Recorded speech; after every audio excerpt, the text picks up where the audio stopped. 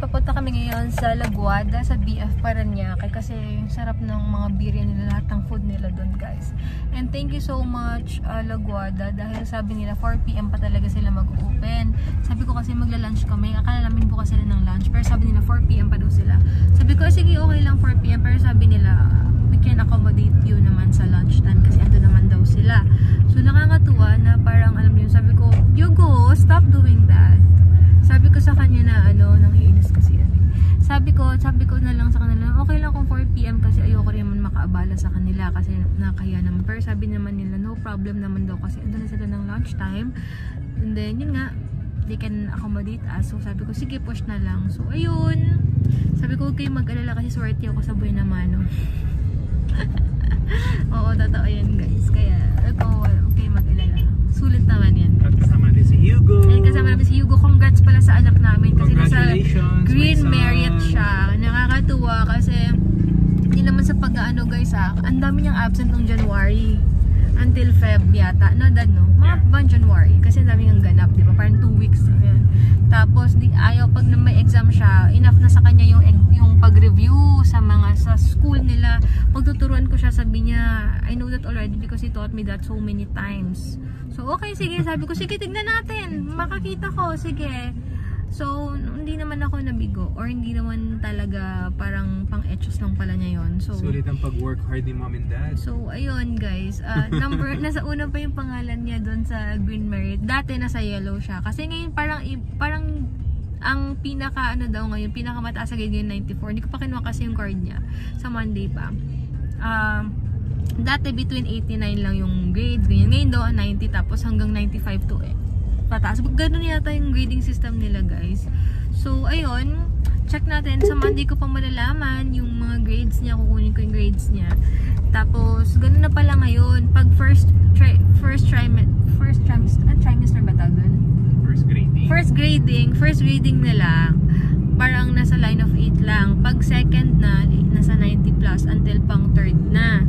Yon So, ganun pala yung ano ngayon, yung grading system nila. So, check natin later tomorrow or sa Monday kung talagang pure line of, line of 9 kasi nasa green na siya.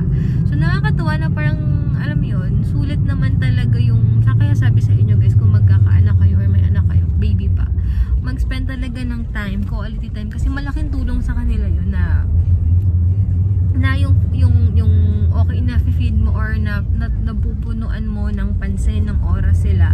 Kasi iba yung nagagawa rin ng parang alam nila na nakasupport yung parents nila nandiyan palagi. Kasi nga ayun malaking tulong din sa development talaga nila nakakatuwa na niya may ina-expect na dati sabi ko sige tignan natin ayaw mo magpaturo ah bahala ka tignan natin ngayon yung pala nagulat ako nasa green pa siya na-maintain naman niya yung mga grades niya simula nung first grading, second, tsaka yan, check natin yung third. Nakakatuwa lang na.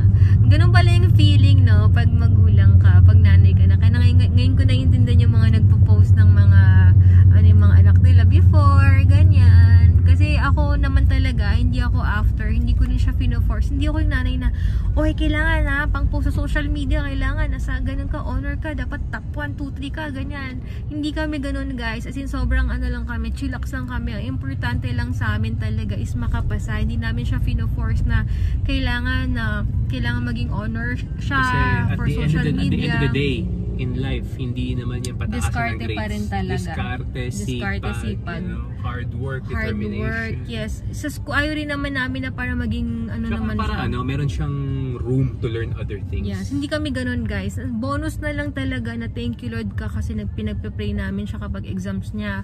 Ganyan na pa- ipa-remind sa kanya kasi nga ayaw magpaturo. So which is effective naman at kami talaga hindi kami ganyan talaga na hindi namin siya fino-force na hoy kailangan mag ano kayo. Iba nga do yung iba nga do naririnig ko. Pinapakumun pa nila yung anak nila. Parang grabe naman parang yaan nyo silang mag-enjoy na ano aral-aral na lang 'di ba? So na minsan ano may pa-tutor-tutor pa sila. Siguro natin masisisi kasi siguro wala yung parents ganyan. Pero let them enjoy 'di ba? And explore new things na wala naman dyan sa school. So yun lang naman guys. So, share ko lang. Kakatuwa lang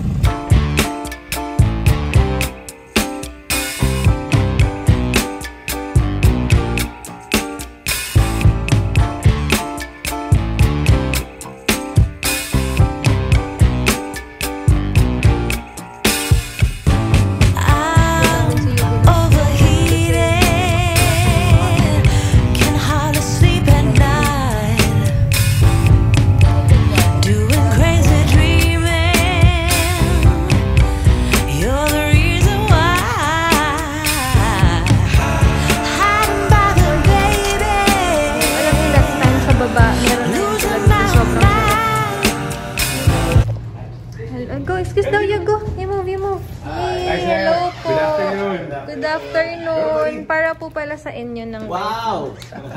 Thank you. Yay! Yung last day po. Ay, right. Thank you po.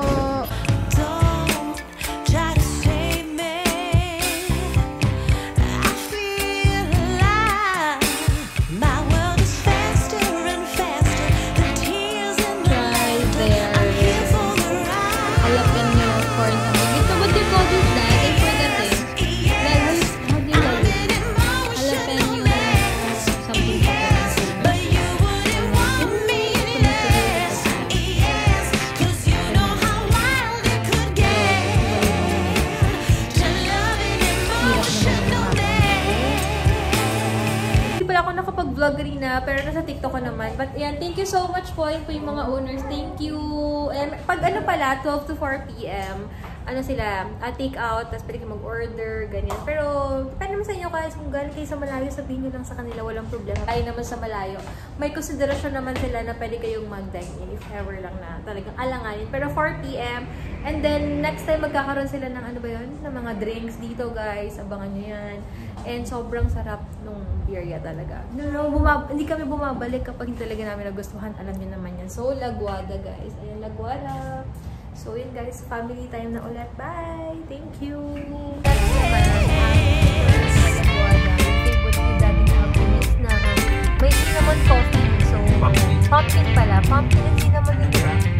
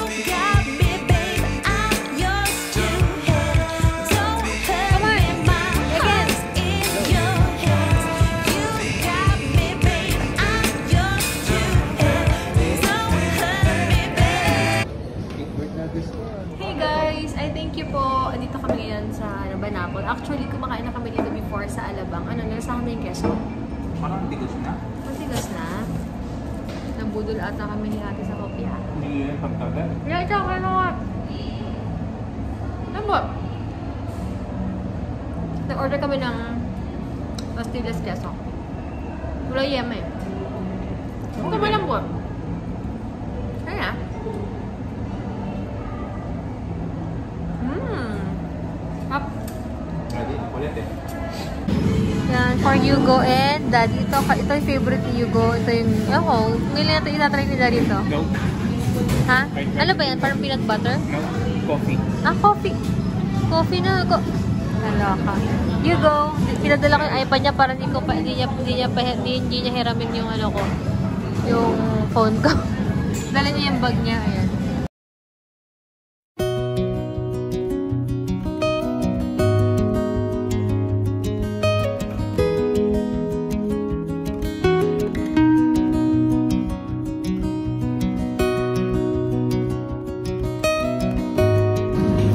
Natural. Ito pa rin order ko is iced coffee avocado. Ay, ano ba yan? Dami. Thank you. But, full na ako. Ito na. Friend, siya. What? It, it's like to not spend it, uh, thir- 30 times, wait. 30 times 4. 30 times 4? Oh, what did you answer? I don't think your teacher ask you 30 times 4. Yes, yes, multiplication. Maybe Really? you forced her to ask you that. No. She asked, Yung Maybe you will told them that Yeah. I, know, I know multiplication now, right? she asked, she asked me. ask. Ah, okay. Basag trip to si I, daddy. I answered that. Basag trip si daddy. You know what I answered? What? Ah, yeah, you can bike there, oh. Yeah. No one is playing badminton.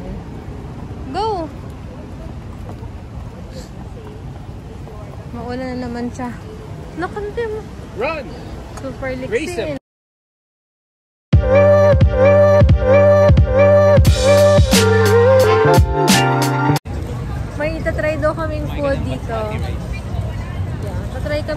Ano bang food yun, Dad? What was that? Parang may pagka-Mediterranean din. Parang Mediterranean, tatry lang namin uh, dito. Kasi nadaanan namin, nakalimutan namin na pwede pa kayo mag-lunch doon kanina na wala sa isip namin.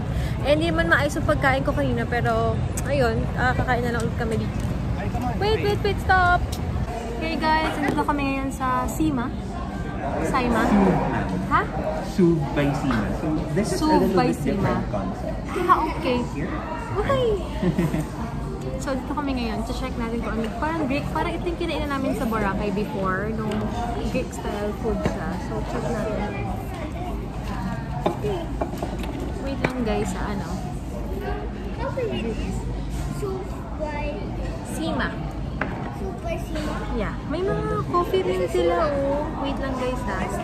Go, you go. So, masarap daw dito yung mga salad nila. Pero sobrang dami na kasi guys. Siguro babalik kami dito. Magla-lunch kami Hummus dito. daw, isang round, tapos cut into six daw yung bread. Okay na yun. Kasi mayroon naman tayong beef kebab. Para matikman natin. Matikman lang natin para babalik kami dito. Pag, alam niyo naman kami, pag may nagustuhan kaming food, Excuse me. babalik at babalik kami dyan. Hanggang sa maumay kami. Try lang natin.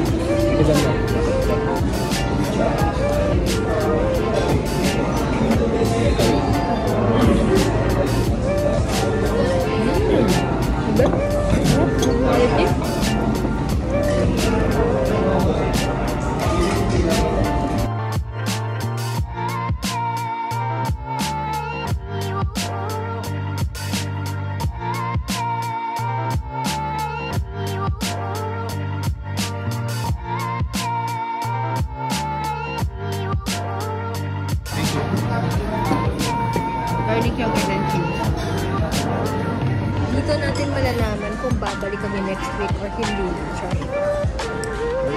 Tignan natin. Ito laki ng kebab. Yung order nila, yung 500 nila, good 40 na siya. Ba ito?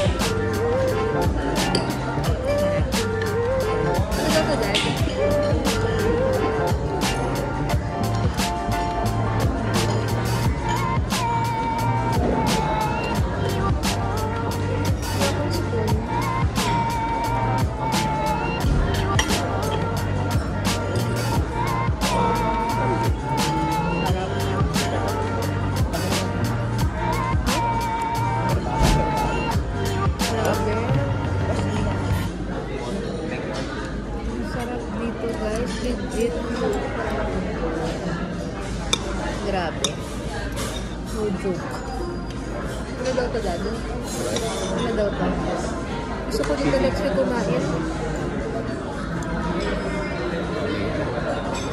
Kain pa. Okay